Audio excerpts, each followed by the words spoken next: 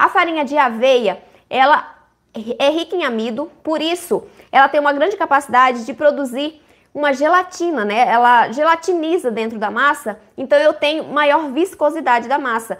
Porém, como ela é rica em fibras, ela absorve uma grande quantidade de umidade. E isso pode deixar a massa pesada a depender da quantidade que você utilize. Por isso, recomendado é que você utilize uma quantidade menor de farinha de aveia em comparação com outros tipos de farinha de estrutura, por exemplo. Porque senão a sua massa pode ficar pesada e ela não vai se desenvolver como ela deveria se desenvolver se tivesse um pouquinho mais é, com farinhas mais leves.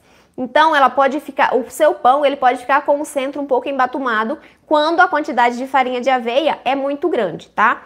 Então, o ideal sempre é a combinação de farinhas para que cada uma é, agregue as suas funções, as suas características é, particulares, né?